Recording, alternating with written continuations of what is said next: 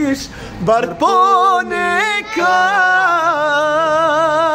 To. Bila si hrabra Snagu si smogla Al samo reci Kako si mogla Bez mene.